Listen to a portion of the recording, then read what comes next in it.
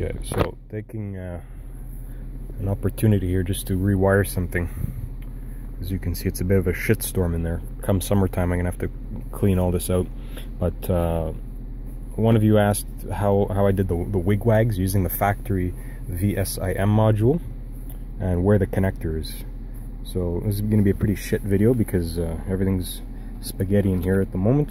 But basically it's this connector, this white guy here. It looks like this, this big thick white connector. The other one is this little gray one over here. It looks like this. This is where the power inputs are. So you have ignition switched, constant power. And I believe the other black ones are just passed through to ground.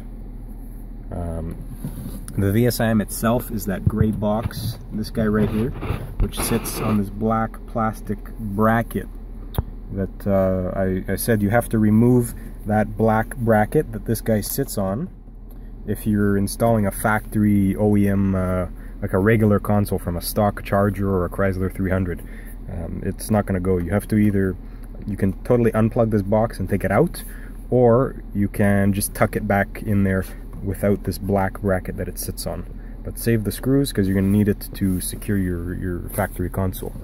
So as for the wigwags, holding the connector to you like this with the clip at the top. Um, it's the first two pins. You can see they're cut right here. One is, uh, they're both brown. One is brown with orange trace, and the other one is brown with purple or violet trace. So brown orange and brown purple. You can see I've tied them in here to this yellow wire which goes to my little switch box and that's basically it all you do is you apply 12 volts to uh, to either of those wires so let's see we can flick this guy on. And we have the the wigwagging action.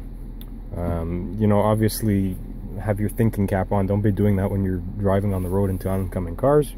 But um, if you're curious of how to do it that that is how to do it. Um, as I say the other connector the, the mating connector to this is basically just a pigtail that you can order from uh, from Chrysler that gives you pigtails at the other end, but I've, I've never really seen one of those used. Mostly they just cut the wire in the back and tap into it like that.